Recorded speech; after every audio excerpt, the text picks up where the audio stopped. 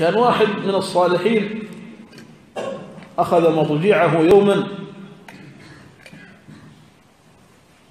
وأغمض عينه وجلس يحدث نفسه. قال يا نفس كيف لو أنك الآن مت ثم قبرت ثم بعثت؟ وكأنك الآن في موقف القيامة تقفين. الآن واقفين في موقف القيامة. وفريق إلى الجنة يساق وفريق إلى النار يساق. والناس في هول وفزع.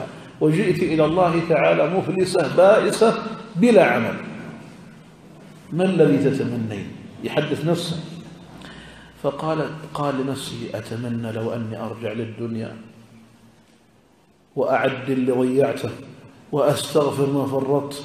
وأعود إلى صالح العمل ففتح عينه وقال قد أعادك الله إلى الدنيا. أي شغل؟ فقام يصلي الليل كله. وجد واجتهد سياسة التعاون مع النفس بحكمة. واحد يقول حال نفسه يقول يا نفس قد بلغت من العمر سبعين. طلع الحسابة.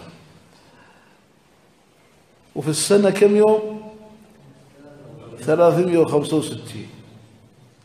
فلو أنك كنت قد قارفت في السبعين في اليوم سيئة واحدة بس مطوع ما شاء الله زاهد ما شاء الله عنده واحدة بس ما يكثر في كل يوم سيئة في سبعين سنة كم سيئة؟